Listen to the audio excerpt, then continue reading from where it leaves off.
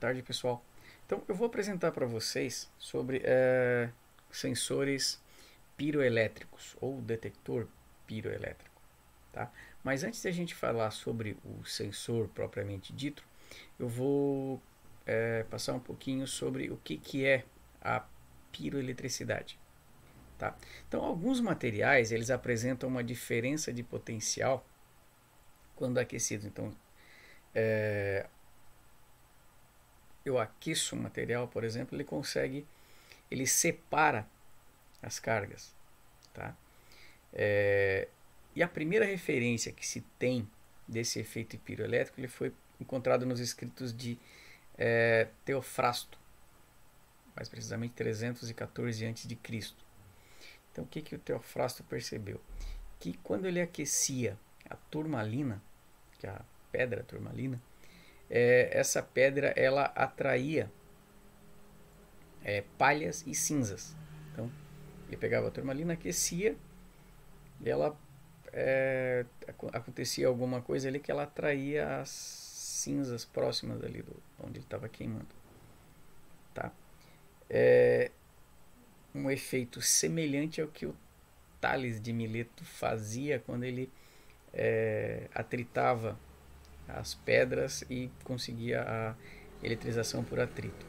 Tá? Só que o Teofrasto ele percebeu que a turmalina ela, ela fazia esse efeito só que quando aquecida. Tá? É, hoje em dia tá, existem outros materiais um pouco mais eficientes que a turmalina tá, que se usa para os detectores de é, pios elétricos piroelétricos, não piezoelétricos, tá?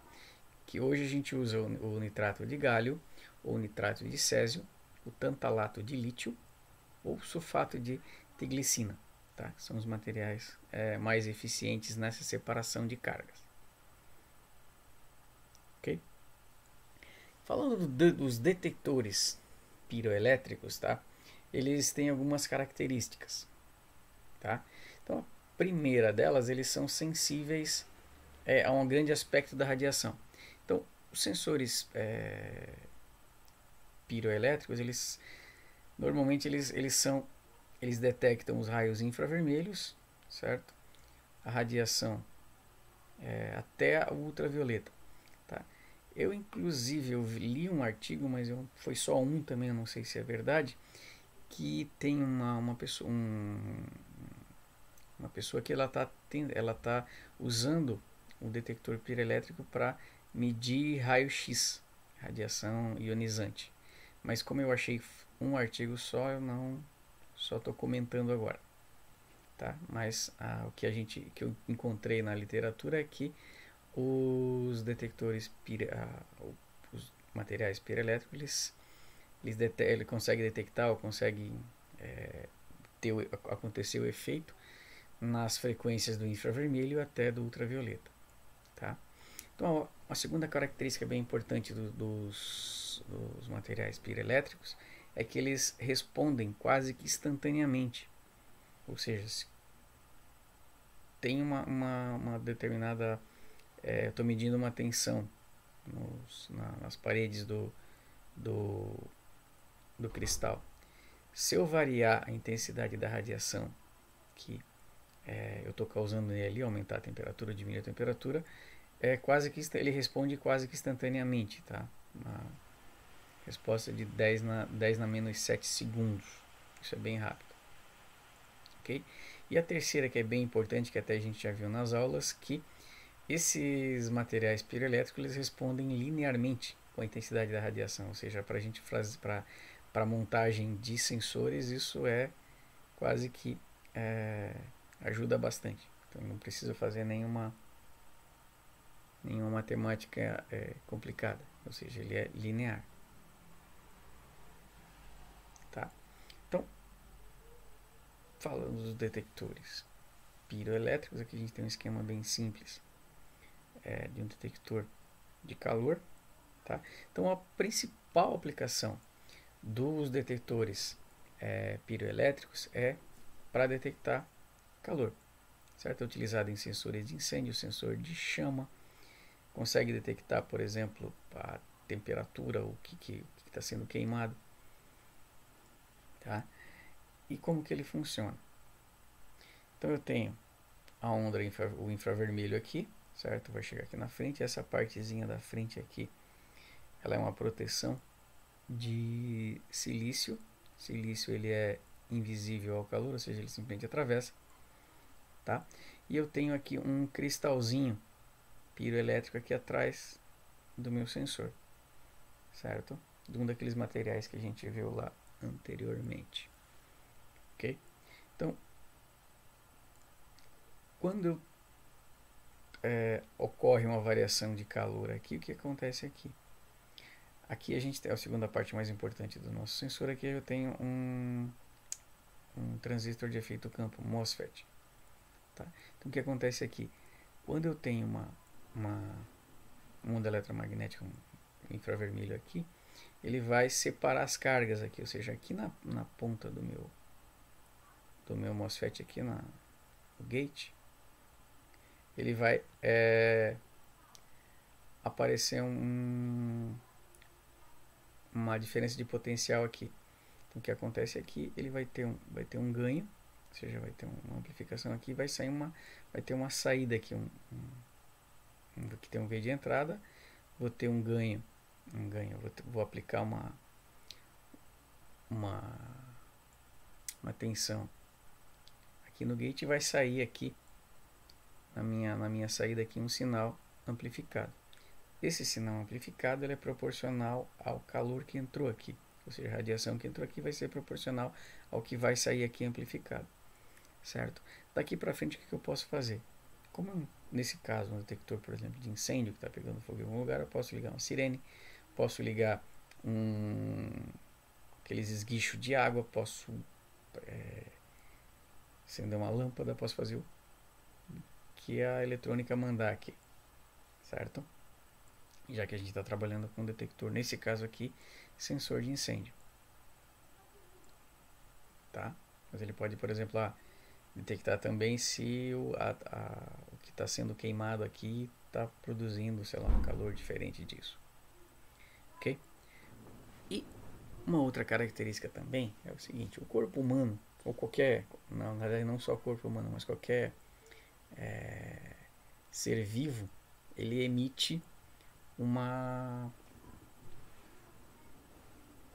uma onda, certo? uma na, na, faixa do infravermelho. Então, nossa temperatura normalmente ela vai ficar aqui entre 20 e 30 graus, ou 30 a 35, dependendo se é, é uma média, tá? Então, as nossas ondas que o nosso corpo emite, ele está na ordem do infravermelho, em torno de 10 microns aqui, assim, ele vai ficar mais ou menos por aqui, que é 0,1 micro, por aqui, certo? Ou seja, da ordem do infravermelho. Se eu emito uma onda na ordem infravermelho, o sensor piroelétrico ele consegue detectar isso. Tá?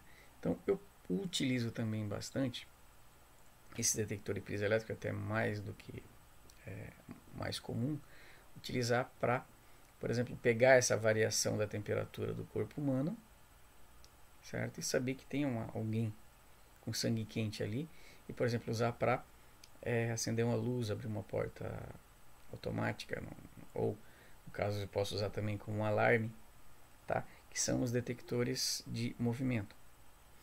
Que como que funcionam um sensor de presença ou detector de movimento?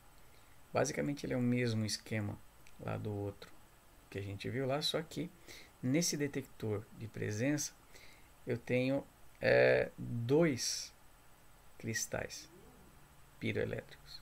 Tá? Eles estão ligados em série, só que com a polarização invertida. Tá? Então tenho dois ligados em série com a polarização invertida. O MOSFET é o mesmo, tá? o sensorzinho está aqui. E eu tenho também uma lente, é uma lente de, de Fresnel, essa campana aqui em cima aqui, ou nesse comercial que a gente tem aqui, esse da frente aqui. Ó. Então o que, que essa lente faz? Essa lente é nada mais ela que ela polariza a polariza não, ela focaliza o, a emissão de calor, por exemplo, dos corpos. O corpo humano, por exemplo, tem uma pessoa passando aqui na frente do, do detector, certo? Então, quando ela detecta, por exemplo, que tá, tem uma, um, alguém emitindo uma, um infravermelho, então ela vai polarizar e esse vai acionar, vai focalizar o, com a lente aqui, vai mandar, por exemplo, o primeiro sinal aqui.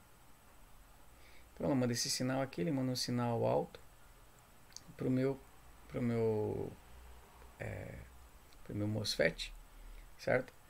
E se a pessoa continua o movimento, ela vai atravessar o, a parte da lente, ela vai mandar um sinal para o outro aqui. Como ele está invertido, o que, que ele faz? Então ele manda um sinal alto e baixo. É, tipo assim, primeiro chega um sinal em um, um deles aqui, vai mandar um sinal alto, depois ele manda um sinal baixo. Então eu consigo fazer essa é, saber que ocorreu um movimento ali. E a mesma coisa eu posso fazer lá pro é, mandar um sinal daqui para frente aqui a eletrônica aqui para trás, né, do meu sensor, por exemplo, posso mandar se for uma tiver esse sensor aqui na frente de uma porta de um shopping, detecta que tem uma pessoa ali, ela abre. Se for um alarme, ele pode mandar tem uma pessoa ali, não era para estar ali, vai ligar uma sirene. Ou se a pessoa está passando no corredor, que isso aqui é normalmente é usado também, o que vai acontecer? A pessoa simplesmente vai a lâmpada vai acender por um determinado período de tempo. Aí essa parte de, eletrônica é, é para trás aqui, certo?